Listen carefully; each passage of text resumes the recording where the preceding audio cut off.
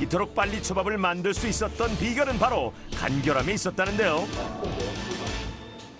이제 저 같은 경우는 밥이 이렇게 있으면 이렇게 밑에서부터 이렇게 쓸어요. 쓸고 밥을 이 세 손가락만으로 이 두 손가락은 그냥 가만히 있는 거예요.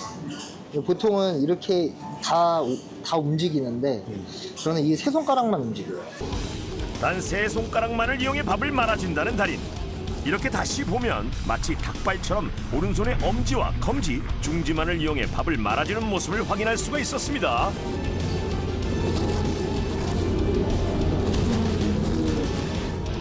제가 이렇게 밥을 쥐었으면은 이제 많이 쥐면 이 안에 딱 감이 있어요. 이 일정량이 딱 됐다라는 이 모양 감이. 빨리 따더라도 지금껏 숱한 연습과 시행착오 끝에 자신만의 노하우를 터득해 40피스짜리 초밥 한 판을 1분 10초대라는 놀라운 속도로 완성하게 된 달인. 아직 놀라긴 이르답니다. 그가 만든 초밥 한 피스는 정확한 양을 유지한다는데요. 자 우선 초밥 한 피스 8g이고요. 과연 다른 초밥도 무게가 같을지. 오 이것도 8g. 그야말로 인간 저울이라 불러도 될 정도. 오 계속 끓어요? 처음 시작할 때는 밥이 좀 크, 크기도 했었어요.